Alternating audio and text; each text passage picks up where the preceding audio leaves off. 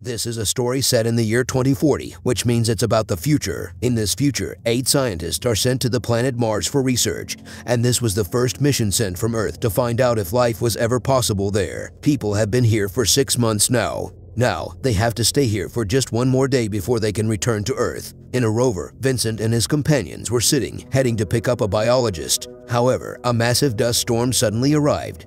But these people were safe because the rover was designed to protect them from such storms.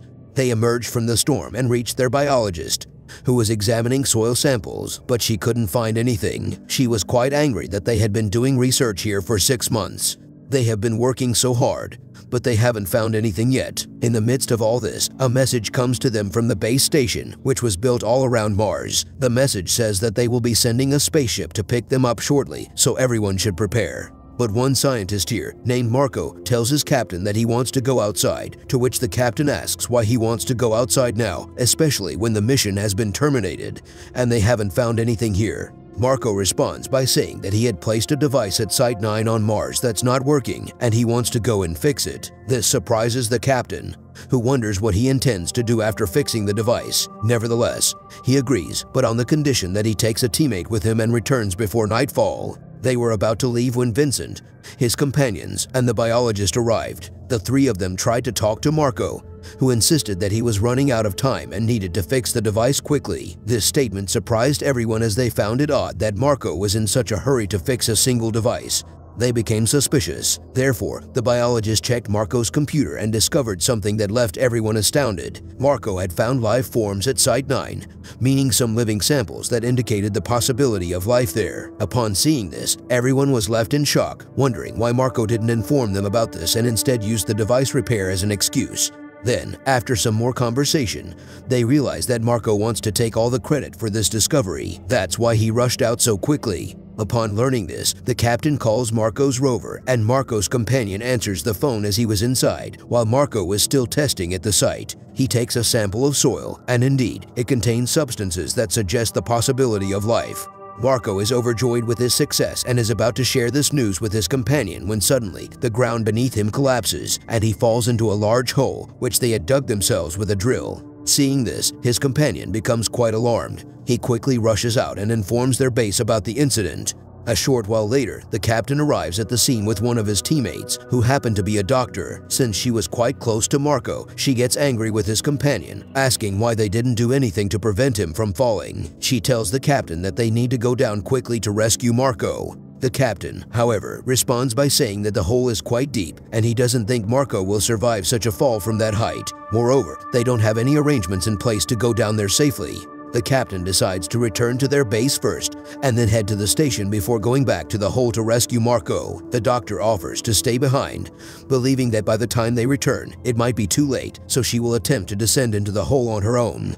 The captain agrees, and he and Marko's companion return to the base. They inform the locals and the station about the situation. The station instructs them to take their tools and attempt to locate Marko. If he's found alive, great. If he's deceased, bring back the body. Then they can present the discovery of the life forms Marko found to the world. Marco's companion and the biologist stay at the base, while the captain, along with the rest of the team, returns to the hole. The doctor tries to peer into the hole, but the thick, steam-like vapor makes it impossible to see. She retreats to the rover. Just then, they hear sounds from outside as if someone is trying to get inside the rover. The doctor goes outside to check, and when she sees something, she is first quite startled and then screams loudly. What she saw is not revealed to us. Just then, the captain and the others arrive.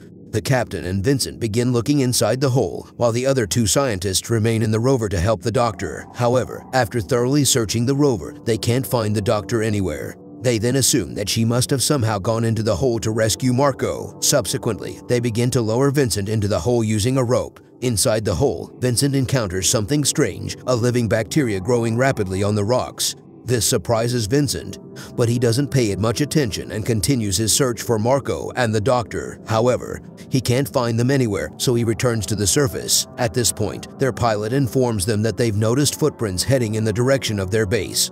The captain is quite surprised since, aside from Marko and the doctor, there shouldn't have been anyone else around. The footprints are most likely theirs. But if Marko had survived and the doctor had rescued him, why didn't they return to the rover? Why were they on foot? The base alerts them that someone is approaching their base. In the base, the remaining crew members investigate and are under the impression that one of their teammates is approaching. Marko's companion opens the door and, when he sees Marko through the glass, he lets him inside.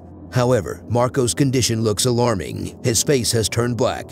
His skin is bizarre, and he looks nothing like a human anymore. This terrifies his companion, who quickly removes Marko's helmet. Marko's horrifying appearance shocks him, and he loses control. Marko grabs a drill machine and attacks his companion, causing severe injuries. Despite this, he manages to trigger a security alarm. Hearing the alarm, the biologist comes to check what has happened. But just then, the doctor, who had come with Marko's companion, arrives in the same condition. She loses control and attacks the biologist, but the biologist pushes her away, keeping herself safe. She manages to lock both of them in a room. It becomes clear that the footprints belong to these two, but no one could have anticipated their transformation. The captain and his team arrive, and upon hearing strange noises from inside the base, they get alarmed. They ask their team members to stay outside while they enter the base to investigate. They are shocked to find blood spread everywhere. The biologist stands outside the room where she locked the transformed Marko, and Doctor, the captain is baffled by the situation, wondering what has happened to them. However, the biologist insists that they must leave quickly, as staying there is now very dangerous.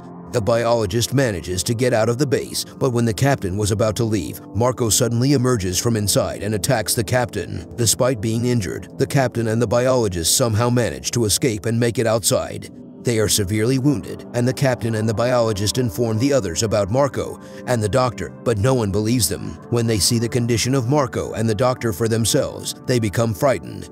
However, since the captain is injured, they quickly take him to another base, and Vincent's companion, who is a doctor, begins treating him. The captain explains that his condition is deteriorating and he's forgetting things. He also feels extremely thirsty. Hearing this, the pilot tries to give him water, but the captain suddenly loses control and grabs the pilot by the throat, refusing to let go. This indicates that he is also becoming like Marko and the doctor, infected by the bacteria they found in the hole. Anyone attacked or bitten by Marko would become infected, and the virus would take over. This means that when Marko bit the doctor, she also became like him, falling prey to the virus. The others are trying to free the pilot from the captain's grip, but in the process, the captain dies. Realizing how dangerous the virus is, the biologist restrains the captain's hands and feet because she has come to understand that even a dead person can return to life and potentially harm the others once infected by the virus. Then, they all watch the screen and see that the base where Marko and the doctor were locked has broken open. If nothing is done, they will eventually make their way to this base as well. Vincent comes up with an idea.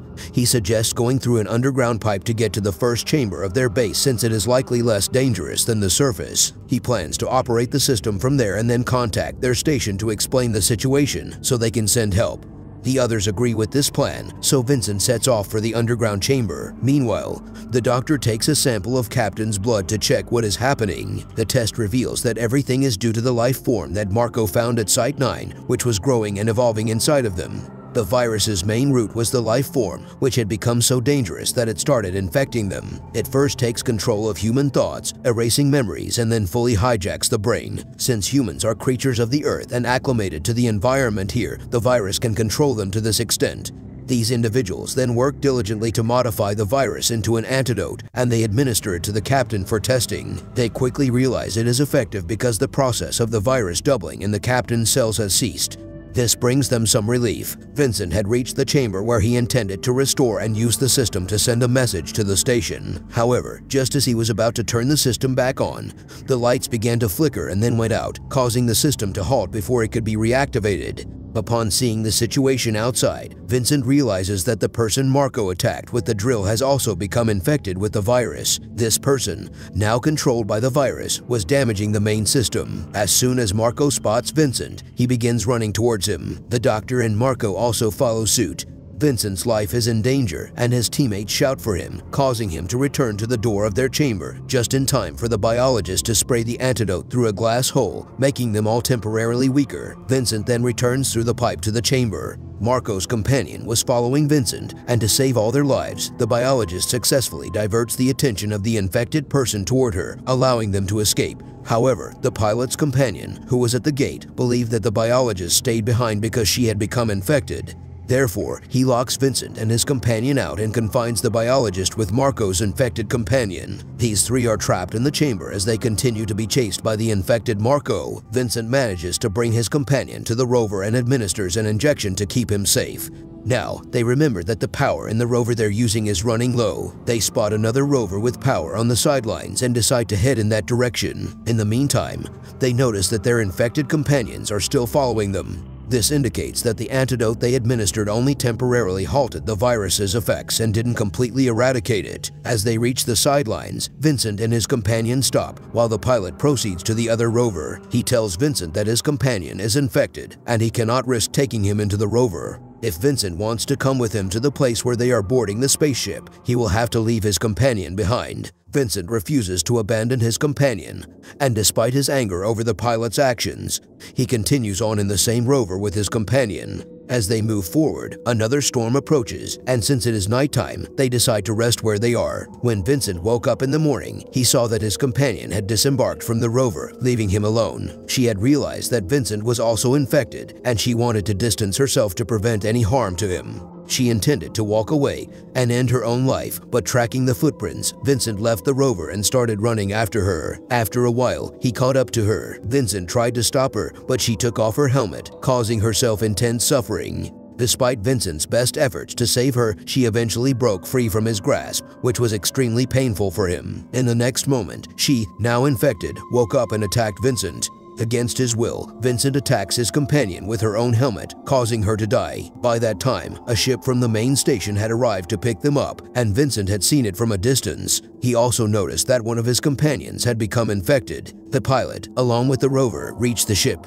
Vincent tried to signal them, but his voice and gestures went unnoticed by the people on the ship. Vincent could hear their voices through the ship's transmitter, but his voice wasn't reaching them. The ship had two people on board, Seeing the ship approach, the three infected companions started moving in that direction. The ship's crew saw them approaching, and they opened the ship's door, believing them to be survivors. However, the infected individuals attacked the ship's crew, and Vincent could only hear their screams as he approached the ship. Upon reaching the she, Vincent now sees Marko on the ship, and since he was the first to be infected by the virus, his condition is extremely dire. His body is mostly skeletal, with just bones visible. Vincent boards the ship, when he reaches the pilot's cabin, he finds that the pilot, who was already there, has also become infected. Vincent tells the pilot that he can't come with him because they can't bring the virus back to Earth, just like Vincent couldn't bring his companion. However, the pilot insists on returning to Earth to find a cure for the virus. Vincent tries to stop him, and they get into a struggle. In this fight, the pilot attacks Vincent with a knife, rendering him unconscious. The pilot starts the spaceship and heads back toward Earth.